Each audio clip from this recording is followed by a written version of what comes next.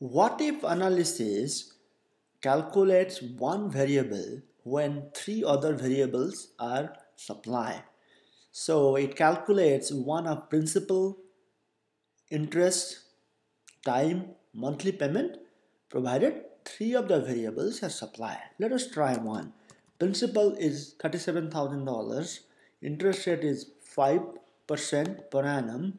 Time is 5 years. Now the payment is 968 um, 698.24 698.24 let us calculate see if three variables principal interest and payment are supplied what will be the time in years and months? That's what it is.